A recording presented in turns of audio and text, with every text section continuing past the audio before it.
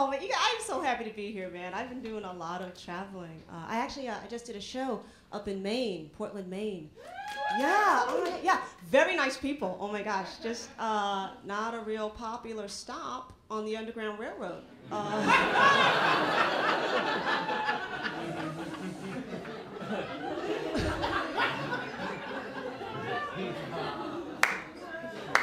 I, I felt exotic.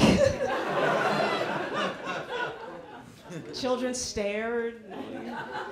They asked questions. Hey, what do I say? I- I'm a slow runner? I don't know. How do I answer that? they were very nice though. They were everybody there warned me about driving on the black ice. Yeah, yeah. They didn't say anything about walking on it.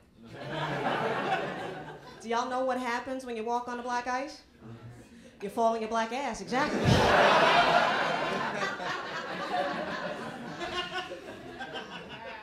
You know, here's the thing. I, love traveling. I love traveling, but I hate flying. Right? Because flying used to be fun. Right? It was like going on a date. Right? You got dinner and a movie. Now, now it's like a one night stand. Right? You slink away from airport security with your shoes in one hand, your dignity in the other. I gotta stop doing this. Got this new thing, the enhanced security pat down. Yeah. You know what? I wouldn't have a problem with that if they hired the right people to do the job. Bring in some Chippendale dancers.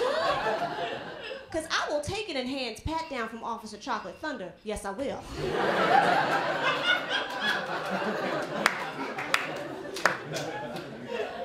Like, yeah, boo, I got a dollar, but you're going to have to find it.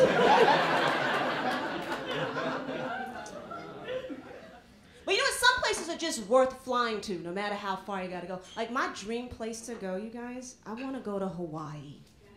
Yeah, oh my gosh. I wanna go to Hawaii because that's where the president was born. Maybe. yeah, can you believe it? Man, there are actually people who don't think Obama should be president, right? Because they claim his birth certificate says he was born in Africa which is really kind of wild, right? Because there was a time when being born in Africa meant you were uniquely qualified to work here.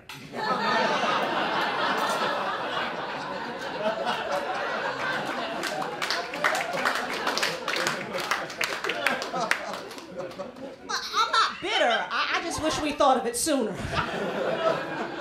right? Just one guy that goes, no, no, no, no. I cannot pick cotton.